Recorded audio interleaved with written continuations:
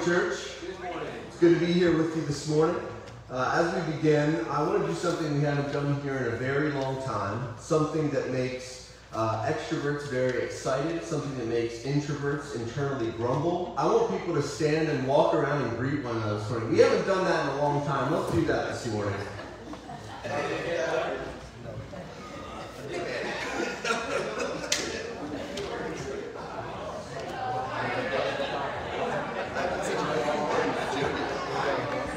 Hey, Rice, how Okay, Joe. Oh, I'm trying to. Okay, I turned, I turned 30 on Wednesday. That's right, that's right. I went to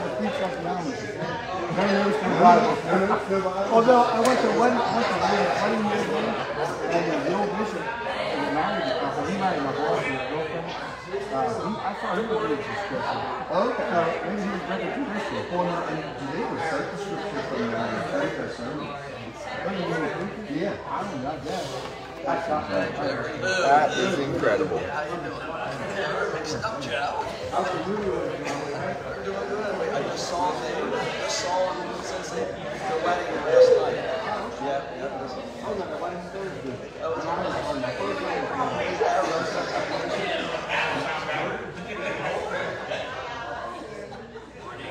I don't want to be a dick. Whatever, whatever. I didn't learn that.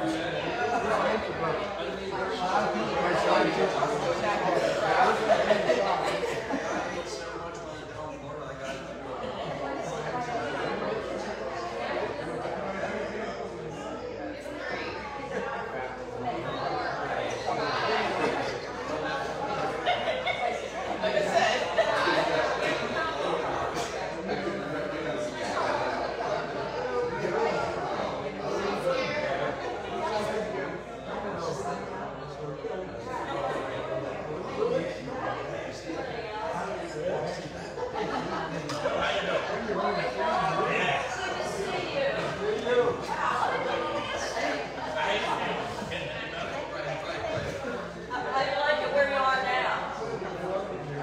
Oh, good. They have good food? Oh, right.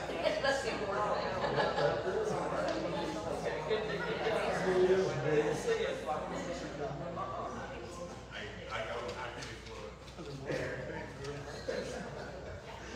Well, again, good morning, church. Uh, introverts, I'm sorry, but thank you for taking part in that with us.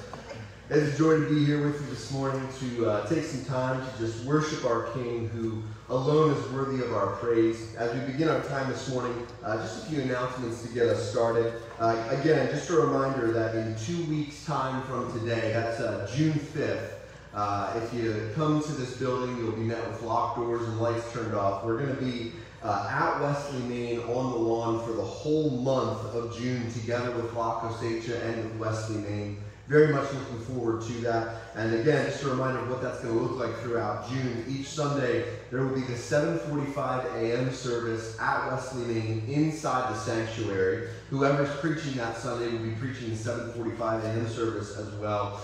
Uh, and then we're going to be together outside at 10 o'clock. Uh, together out on the lawn. The indoors will be open during those services. If you want to go in and sit in the air conditioning, I am fervently praying that uh, every Sunday in June does not feel the way yesterday felt uh, here in Lancaster, but very, very much looking forward to the month of June together with uh, Colerain, or I'm sorry, with La Cosecha and Wesley, Main. Uh, we are Colerain. Uh, and uh, very much looking forward to that. That was one of those those positive things that really came out from that, that summer of 2020 and that very different season of what church looked like. So I'm very excited for uh, the month of June coming up here. And then just another reminder and a correction from an announcement from last week. Uh, again, this Friday, uh, we're going to be doing our, our fourth Friday ministry event at Wesley, Main. Uh, it is for uh, people 55 plus are invited to join us for that. Last week I said 455. That's really early to eat dinner. The event starts at 5.55. Okay, maybe not really early, but it's a little early. Uh, but the event is actually at 5.55 this Friday. So it should be easy to remember. It's Friday at 5.55 for 55 plus people. And I know that's confusing to hear, but uh, we invite anyone who would like to join us this Wednesday, or I'm sorry, this Friday.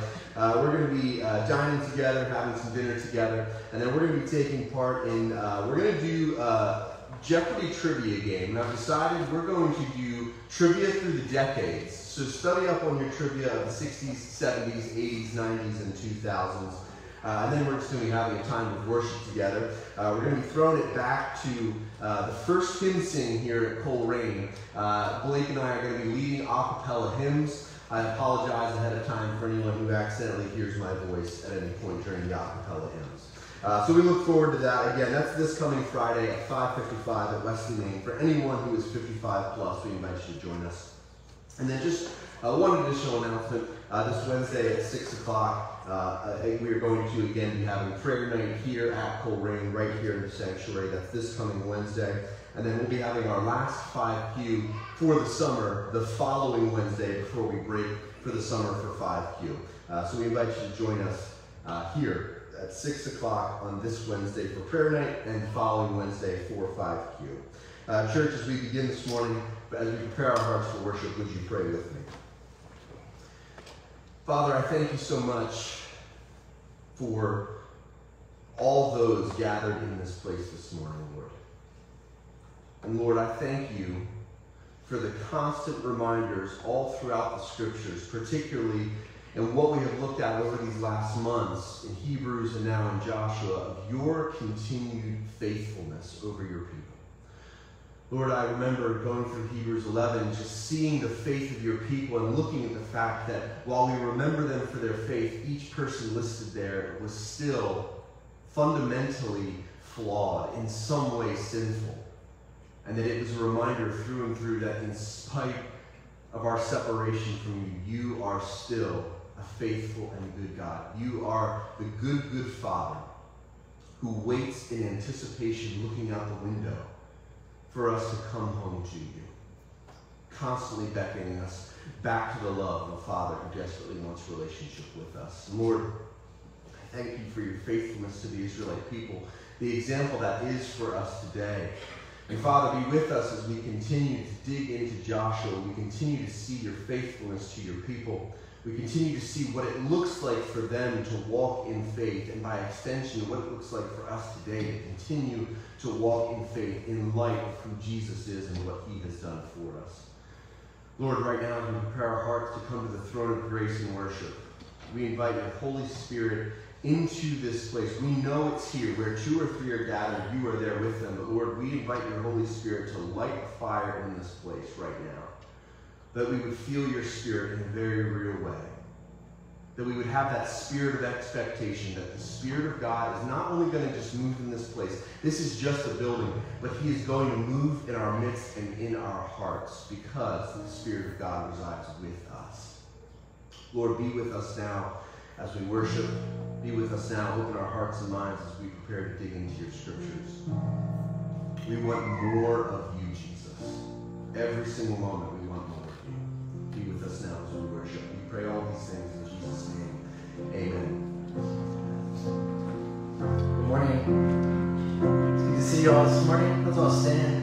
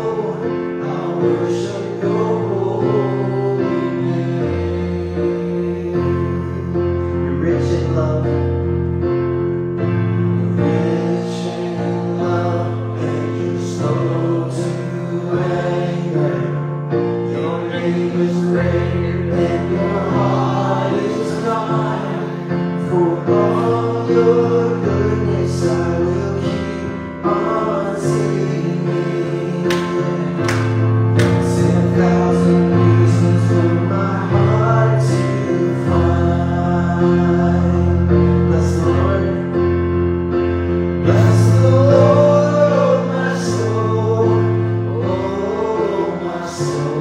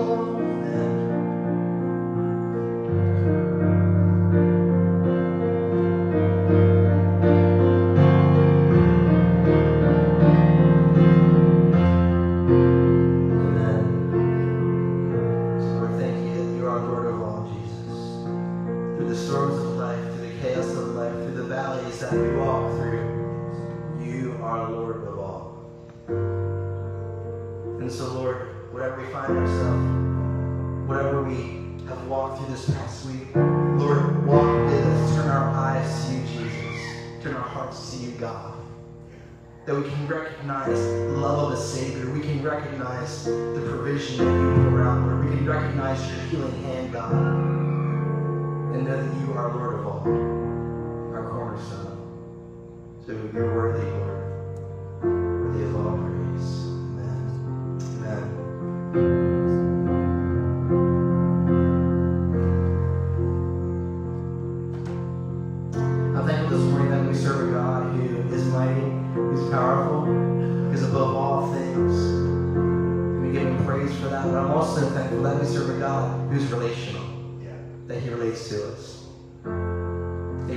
with us. And He holds us in those times. So this morning we reflect on His powerful voice. We reflect on the power and the might that He has, but we also reflect on His gentleness. We also reflect on His kindness for you and for me. We recognize both sides of who He is. He's Father, He's love, He's healer, He's friend this morning. And He's worthy of all praise. It relates to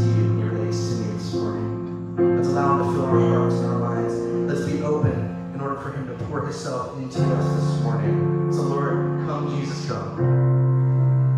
Wash over this place, God. Let us be receptive of who you are.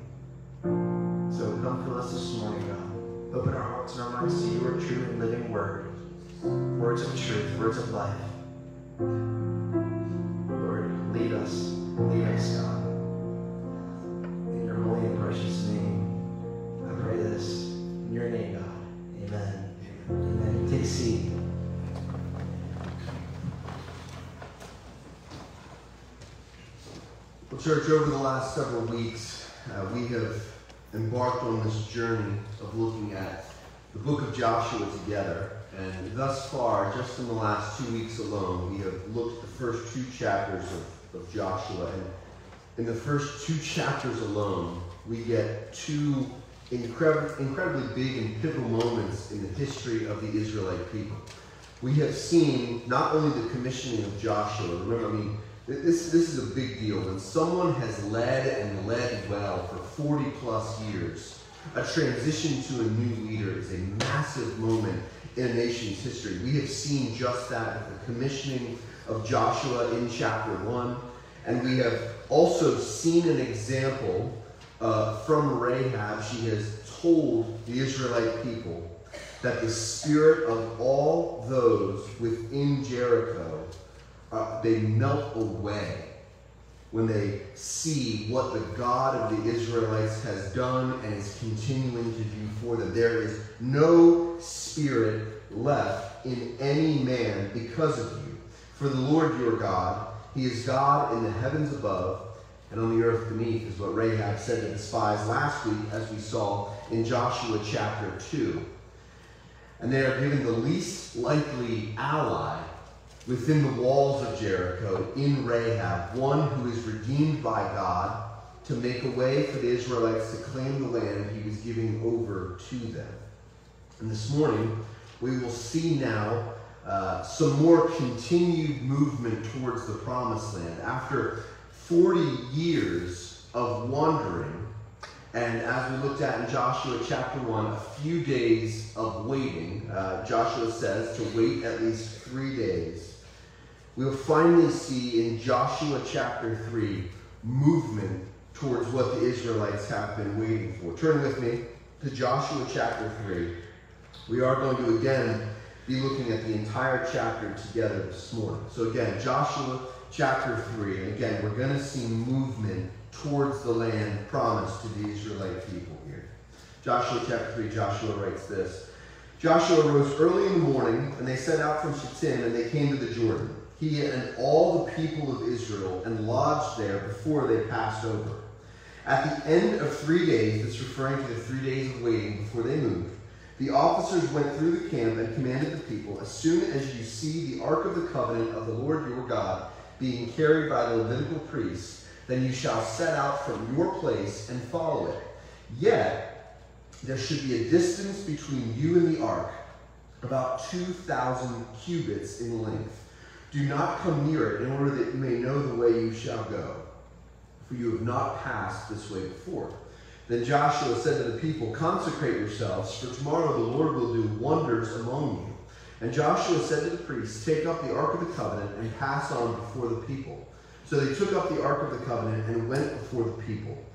The Lord said to Joshua, Today I will begin to exalt you in the sight of all Israel that they may know that just as I was with Moses, so I will be with you.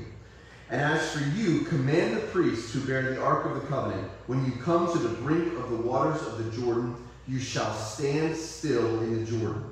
And Joshua said to the people of Israel, Come here and listen to the words of the Lord your God. And Joshua said, Here's how you shall know that the living God is among you, and that he will without fail drive out from before you the Canaanites, Hittites, Hivites, Perizzites, Girgashites, the Amorites, and the Jebusites. Behold, the ark of the covenant of the Lord of all the earth is passing over you, before, uh, is passing over before you into the Jordan. Now therefore take twelve men from the tribes of Israel, from each tribe a man. And when the soles of the feet of the priests bearing the ark of the covenant, the Lord of all the earth shall rest in the waters of the Jordan. The waters of the Jordan shall be cut off from flowing, and the waters coming down from above shall stand in one heap. So when the people set out from their tents to pass over the Jordan, with the priests bearing the Ark of the Covenant before the people, and as soon as those bearing the Ark had come as far as the Jordan, and the feet of the priests bearing the Ark were dipped in the brink of the water, and this is important, this is likely in parentheses in your Bible. Now the Jordan overflows all its banks throughout the time of harvest. The waters coming down from above stood and rose up in a heap very far away at Adam, the city that is beside Zarethan, and those flowing down toward the sea of the Arabah, the salt sea, were completely cut off. And the people passed over opposite Jericho. Now the priests bearing the ark of the covenant of the Lord stood firmly on dry ground in the midst of the Jordan. And all Israel was passing over on dry ground until all the nation finished passing over the Jordan. As I said a moment ago, we have already, in Joshua chapter 1 and Joshua chapter 2, seen two incredibly massive, monumental historical events take place for Israel, and chapter 3 does not slow down that momentum in any way, shape, or form. It has been 40 years since Israel left Egypt, since they departed Egypt, walking through the Red Sea together as one nation on dry ground, and wandered throughout the wilderness and throughout their struggles while uh, living in the wilderness together. We have seen throughout the book of the law, throughout the first five books of the Bible penned by Moses, we have seen a lot of ups and downs in the Israelite people. We have seen them waver and fall many times. We have seen moments where they fully and completely trust God. We have seen moments where, literally weeks after that trust, they are looking to idols and to the things of this world. We have seen the people of Israel rally around one another and lift one another up, and we have seen them in contention with one another. The Israelite nation shows throughout the first five books of the Bible just the, the fickleness of human beings, how quickly we can ebb and flow. So much has happened for them over these last 40 years but the beginning of Joshua, what we are seeing here in the first several chapters of Joshua, show us very sure signs that the Israelites are finally ready to enter into the land that has been promised to them. Joshua has been commissioned and emboldened by the Lord. Rahab has informed them that the inhabitants of Jericho melt away before what their God has done, and now the only thing seemingly standing in their way is just as it was when they departed Egypt a body of water yet again. The Jordan River stands before them. We see them at the end of these, uh, these last three days of waiting before they move, and the first command is given before they move in, starting uh, in verse 3, looking at verse 4. Joshua commanded the people, As soon as you see the ark of the covenant of the Lord your God being carried by the Levitical priests, then you shall set out from your place and follow it. Yet there shall be a distance between you and the ark, about 2,000 cubits in length. Do not come near it, in order that you may know the way you shall go, for you have not passed this way before. The first noticeable thing we see here as they make these final preparations to enter into the promised land is that very clearly the ark has to lead the way. Once and only once, they could see the priests carrying the ark. They were not to set out before they saw the ark. Only once they saw the priests in the distance carrying the ark were they told, then you should set out and follow after. And they are given a strict command from God to not only follow the ark, to go after only you have seen it in the distance, but they're given an exact distance that they should stay. I mean, church, the nation of Israel, we're talking about a lot of people that are going to be following after this priest. It's why the command for 2,000 cubits is given here. And if you're like me, uh, the phrase 2,000 cubits means nothing to you, so we can go a little bit more in depth than that. Uh, one cubit is roughly 18 inches, so one and a half feet. And so they are told to stay 3,000 feet behind the ark at all times. That's just a little over a quarter of a mile. For our staff people, that's 0.83 of a mile. Uh, the, and so we're looking at the length of 10 American football fields laid end over end is the distance there to keep behind the ark. And, church, I believe that this is commanded of the Israelite people for two very clear reasons. First and foremost, the distance they are keeping is a way of showing clear reverence for what the ark symbolizes. This was an indication for not only Israel as a nation, but for anyone around them who, who might witness and see this whole nation of people who has wandered homeless for 40 years following after the Ark of the Covenant. It is a, a symbol for any who might see that the presence of the Lord not only resided with Israel, but it led Israel. The ark was built first and foremost as a place for God to literally reside when the ark sat in the Holy of Holies, the, the part of the tabernacle that the great high priest could only enter once per year. I'm sorry, the high priest could enter once per year. And the Spirit of God would literally be hovering over the mercy seat of the ark between the extended wings of the cherubim on its lid. And this God did not have the ark created to just sit in the Holy of Holies. The physical representation of his presence would be carried with his people, would be carried in the front of his people as he led them. Secondly, the ark went ahead of the people, and so far ahead of the people, almost one mile in fact, so that all of the people of Israel would be able to move together with their eyes fixed on God alone. It's why that command is given. Do not move from your place until you can physically see the ark moving ahead of you.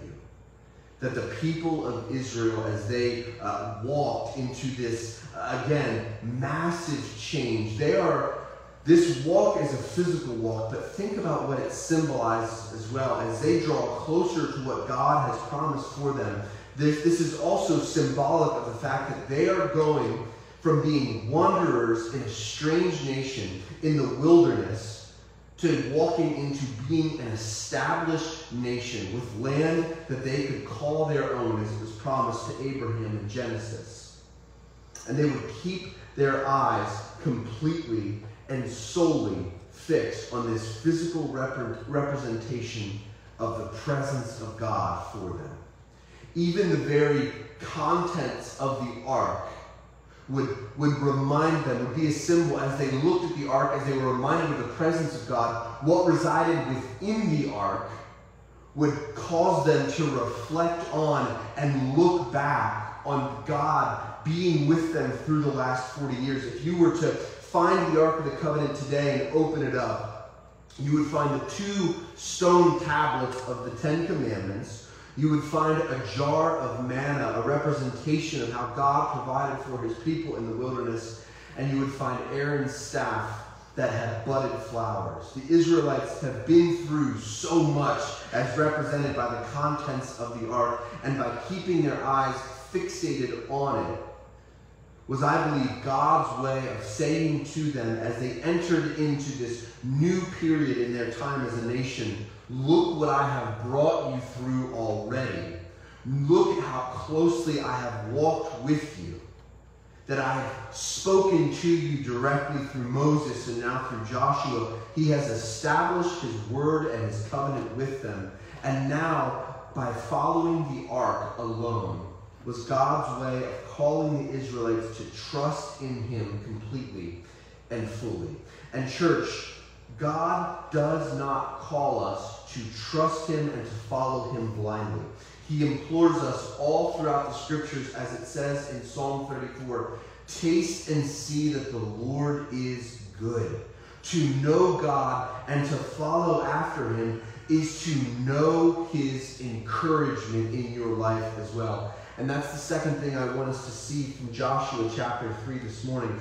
Uh, Israel is, is walking and making their way towards something that is clearly for them. God has told them very clearly that this land is promised to them, this is their land. But they are walking into another situation in which they do not have all the answers. They are moving toward the land promised to them, but the Jordan River still stands between them, not in a season of drought, as Joshua makes it very clear, but rather in a season where the Jordan would be rushing at its highest and most intense. And God has not yet made it very clear how the people are going to cross, but there is a, a moving in faith towards what God has for them, even if they don't have the complete picture of how they're going to get there. They trust in God enough to move towards what He has for them. And we see Joshua encouraged by the Lord to continue moving in faith and to actively encourage his people for what is to come. Starting in verse 7, the Lord said to Joshua, Today I will begin to exalt you in the sight of all Israel that they may know that as I was with Moses, so I will be with you. As for you, command the priests to bear the ark of the covenant. When you come to the brink of the waters in the Jordan, you shall stand still in the Jordan. God tells them there in verse 8 what to do. He doesn't tell them what's going to happen as a result of what is done. And in verse 9, Joshua said to the people of Israel, Come here and listen to the words of the Lord your God. Church, I believe so many today are, are still stuck in a loop of believing and thinking of God as uh, someone who watches over us with a watchful eye simply to see when we slip up, when we do bad, when we sin, and that one day when we are standing before the judgment seat of God, uh, He's going to be sitting there with a scale with our good and bad weighed on it, and if one outweighs the other, that will determine where we go. That is not who our God is. That is not how He operates, and it's never been how He operates. Time and time again, God shows us throughout the scriptures that He is a God of encouragement. He is a God who not only encourages us, but He walks along with us in those moments where our own bravery or our own boldness may wane. They don't know yet what it's going to look like to cross the Jordan, but the Israelites here are told in verse 8 have the priests stand on the brink of the waters, those first few steps into the rushing waters of the Jordan. And he doesn't tell them what's going to happen. He simply tells them what they are to do and that he is going to be with them. But this comes at a time of great encouragement for Joshua. Just as God was with Moses, and think of what God had done in and through Moses through his years as the leader of the Israelites. And he's saying to Joshua, just as I was with Moses, I'm going to be with you, Joshua. Every step of the way, he's going to be with Joshua, and by extension, he is going to be with the people of Israel. Church, if we are actively seeking after God in our own lives, and uh, n- not only in that way of, of seeking forgiveness when we slip up or when we fail, but uh, desiring Him in all moments of our lives, I want you to know that uh, He is beckoning you and desires that you aren't just going to come to Him when things get difficult. You aren't just going to come to God when you feel like you're slipping up or when you feel like your life is in disarray. He wants to encourage you and build you up in all moments. Even when it feels like things are going really well, we should continue to seek after God and hear His encouragement in our lives. Because there's going to be seasons where maybe things are going well and He's called us into uh, something new, something that's going to be challenging, something that's going to stretch us. And He wants us to know that if we're following Him, He is with us and will encourage us in those seasons when we're walking through changes that maybe He has called us into. Our God, at times, contrary to that very popular quote we hear all too often, our God is going to give us more than we personally can handle sometimes because He wants us to lean into Him, into His strength, into His power. He wants us to be encouraged by knowing that He's never going to give us more than He could handle. And through the encouragement and the clear command from God, we see the faithfulness of God here with the Israelites. Just as the waters, when Moses stepped in and planted his staff in the Red Sea, as they were departing the bondage of Egypt, just as that happened, again, the leaders of Israel will walk into a body of water. And that water will split or stop again. We don't get a very extremely clear picture of just what this looks like.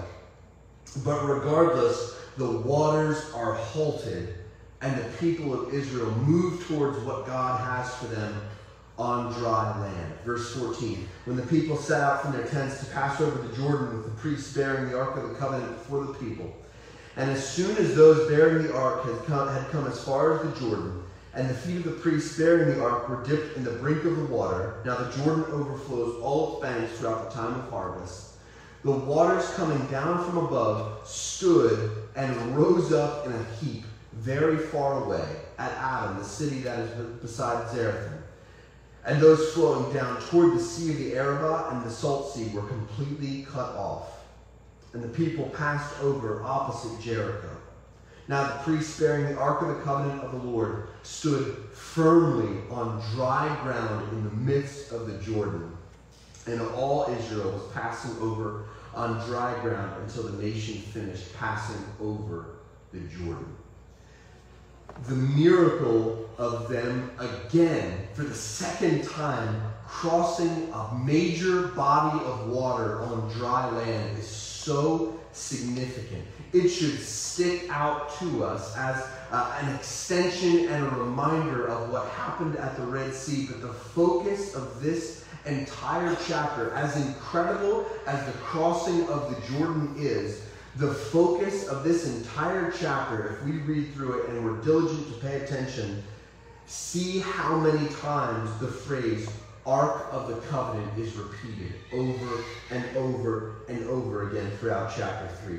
The Ark of the Covenant is there in the midst of the river. It says the priests that were there with it were standing, standing firmly on dry ground in the midst of the Jordan. And the people are passing by it and observing the very presence of God, this physical reminder of the presence of God with them as they again, and remember, many of these people crossing over the Jordan have only heard the story of their parents and grandparents crossing over the Red Sea on dry land, and now they themselves are walking past the Ark of the Covenant on dry ground at the Jordan River.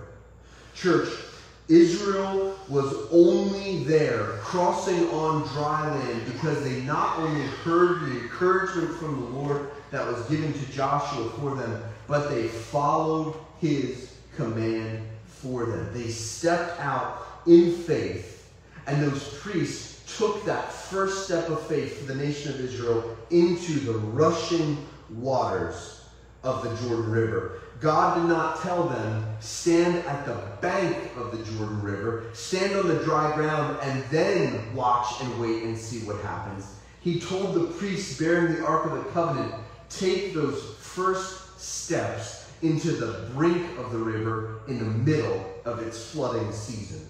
He asked them to step into a situation that would appear to be dangerous and was dangerous, yet because of their faithfulness to take that first literal step in faith, again, a symbol that this nation is ready for its promise of a nation to be fulfilled, that these priests would take this first step.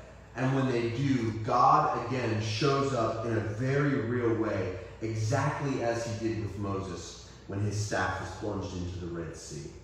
And we don't know exactly how, but it says that the waters far up the river were cut off completely, that no water came down, and that soon, whether it was a matter of moments, whether it was a matter of hours, as they stood there and waited on the Lord, eventually the land in front of them stops running with water and is dry. Where there was once river, there is nothing so that they can continue to press on to what God had for them. This is, again, another incredible and beautiful moment in the history of the Israelite people. And this image of the Ark of the Covenant in the midst of the people on dry land, as the people continue to press on towards the promised land, it, it points us to how Jesus fulfills in a far more perfect way what the ark was meant to show us about the identity of God. Church, I referenced earlier, if you were to find the Ark of the Covenant today and, and, lift it, you would find what the contents were in it. The Ark of the Covenant is gone. Uh, regardless of uh, what the Indiana Jones movie may, may, movies may lead us to believe, it is gone. It hasn't been found in centuries. And I remember as, uh, as a high school student, as I started to study in the Bible, I, I, became a little bit infatuated with the Ark of the Covenant. Where is it? Where is it? I want to see the two tablets of the Ten Commandments. I want to see Aaron's staff. I want to see this jar. And as I've gotten older, as, I, as I've continued to look at the Ark of the Covenant, my stance has changed to it's gone. Good. Let it be gone. Because we now have the person of Jesus who shows us exactly what the ark was meant to show us about God, but in a much more complete and a much more beautiful way. Jesus is what the ark was in its purest form the presence of God taking on a physical form, but instead of a box, he took on flesh and blood, and he became man and dwelt among us. That unlike this inanimate ark, unlike this inanimate box, he might know our struggles. He might know our temptations. And unlike the ark, he might make a way where there was no way. That's what he does. And it's what the ark does for them here. It's what the presence of God does for Israel.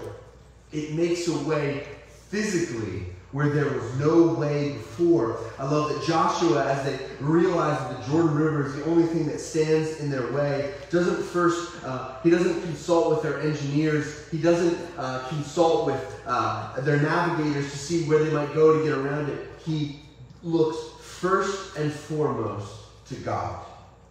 And the ark, the presence of God, makes a way physically where there was no way before. Jesus makes a way spiritually for us where there was no way before.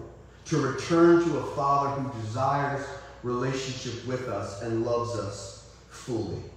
Just as the ark once symbolized for the Israelite people, Jesus now shows us that the presence of God is with us and not just in moments, not just in those, those brief glimpses where uh, the, the, the, high priest would enter into the Holy of Holies or where the ark would lead uh, the, the people of Israel into the promised land. The presence of God no longer hovers on the mercy seat of the ark in the Holy of Holies. The presence of God uh, resides in the heart of believers through the Spirit of God given to us.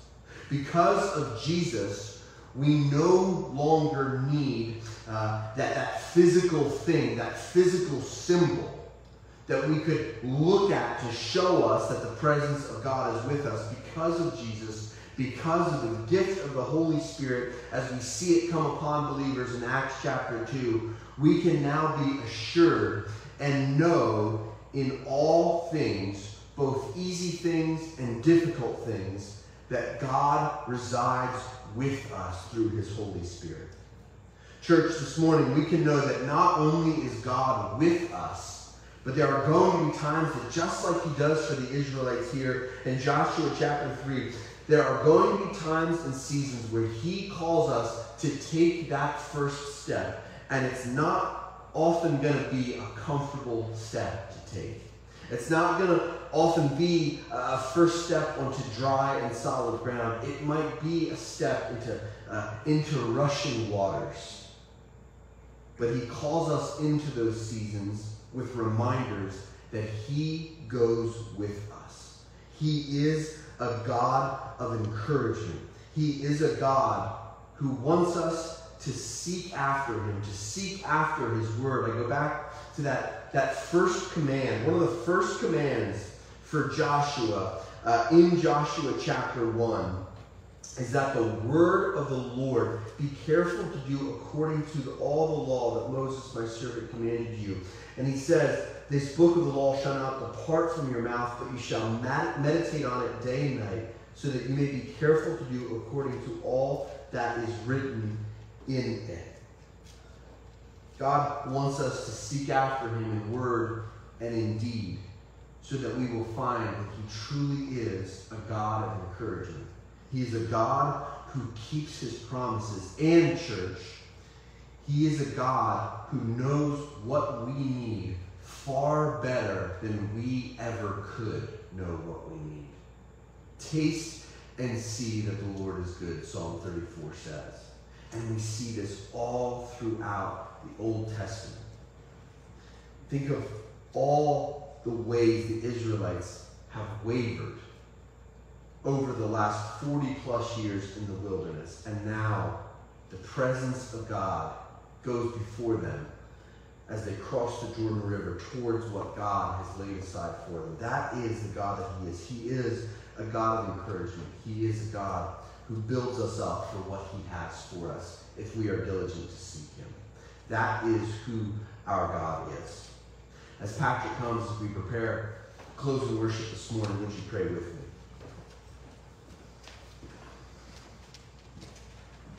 God of heaven and earth, I thank you that you are a God of encouragement. You are a God who still goes before and leads your people. Lord, help us to follow after you in everything we do. Help us keep our eyes, we no longer have to keep our eyes fixed on, on a physical representation. Help us to keep our eyes fixed on Jesus. Help us to keep our eyes fixed on the way he has fulfilled and perfected what the Ark of the Covenant was only beginning to show the Israelite people about who you are.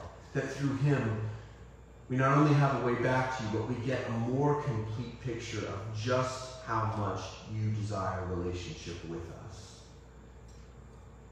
Lord, I thank you that the Spirit of God no longer hovers over the mercy seat of the physical box. It resides in the heart of believers. Help us to look to the Spirit in all things, in all seasons, when things are going well or when it feels like our world is falling apart. Help us to look to the Spirit of God, that it would encourage us and build us up, that it would cause us in all moments to look to you and you alone, and not to the things of this world.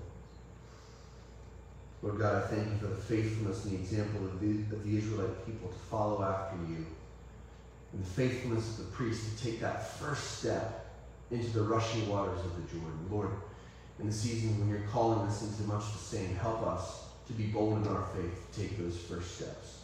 Help us to be bold, to look to you and know that you will never leave us or forsake us. Help us each and every day to taste and see that the Lord of God is indeed good. We love you so much, Jesus. We pray all these things this morning in Jesus' name. Amen.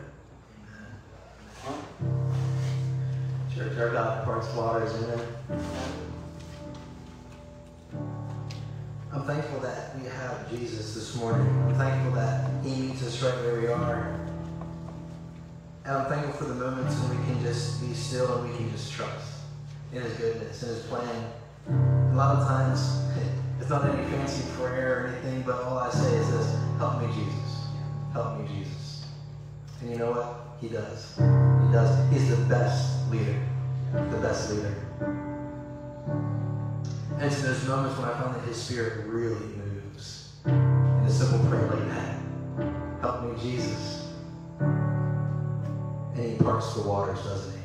It's who He is. Let's all stand together. As we continue to trust Him, continue to turn our hearts and our minds to Him, and we worship Him this morning. And we cry out, Great are you, Lord. You've parted my waters, God. You've made a way in the wilderness, God where we didn't see any way through, He makes a way through.